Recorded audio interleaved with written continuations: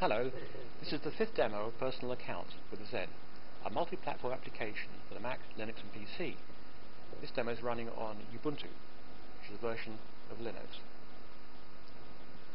Now we're going to reconcile our entries, and that means we check each entry against the paper statement. So suppose our bank statement just arrived, and we're going to check that there are no errors on the part of the bank, or that we haven't made any.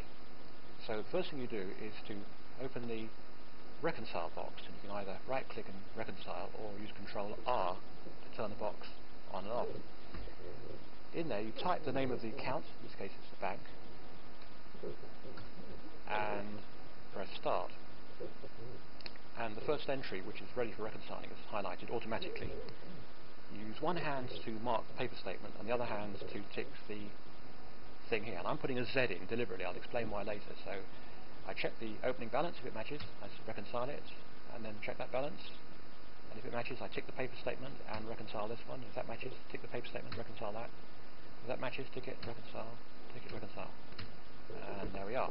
And if the um, all the entries match on both sides, then the statement result, which is down here in accounts, that one there, 582, should match the bottom line on your bank statement in which case you go to preferences and you change all those Z's to the global um, label.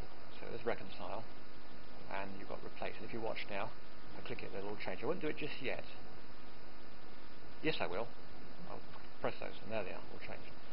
Now I've just realised that I've made a mistake. And what I should have done before the first demo was to tick this box here auto reconcile on entry for income and payment type. So when you open your Personal Accountz, um, it's right from the beginning, go to that and click that box. I'll explain why in the next demo.